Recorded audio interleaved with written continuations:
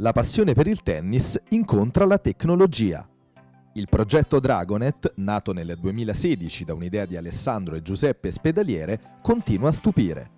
Non siamo davanti ad una semplice macchina sparapalle, ma a molto, molto di più. Dragonet è il futuro e i notevoli passi avanti fatti negli ultimi anni non fanno che confermarlo. La possibilità di personalizzare ogni tipo di colpo, cambiare traiettorie, spin e frequenza di lancio funziona con ogni tipo di palla ed è perfetta per i principianti alle prime armi, i ragazzi già avviati al tennis e gli agonisti di tutte le età. Un'idea vincente in grado di ricevere consenso da parte di appassionati addetti a lavori come il maestro nazionale Alessandro Galli. Diciamo che l'evoluzione del, del, vecchio muro che prima eh, spopolava nei circoli il vecchio socio, il socio, il bambino quando aveva 10 minuti andava subito al muro a colpire la palla, questa è un'evoluzione molto più tecnica e sicuramente positiva perché dà modo ai bambini a, o anche agli adulti di lavorare sull'intensità, sulla continuità e quindi è un, un apparecchio innovativo ma molto propositivo.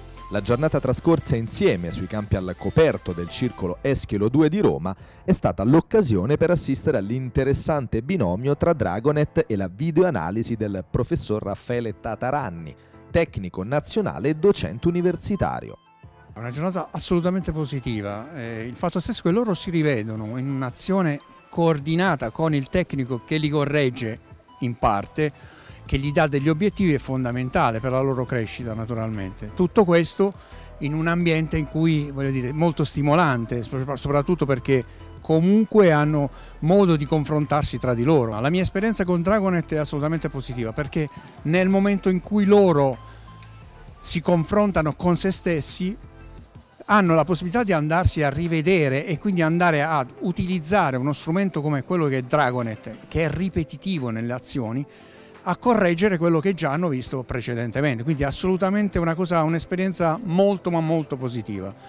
Ultimo ma non ultimo il divertimento, generato dalla possibilità di svolgere svariati esercizi per un singolo o in gruppo. I bambini sono già entusiasti di Dragonet. Benedetta Rega, 14 anni, 4-5. È molto strano perché con i maestri quando ti tirano la palla è molto più lenta la velocità, quindi è diverso, però è bellissimo.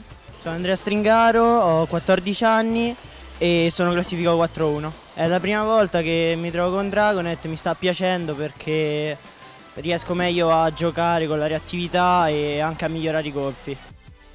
Il mondo del tennis accoglie Dragonet, la rivoluzione dell'allenamento. Il futuro è adesso.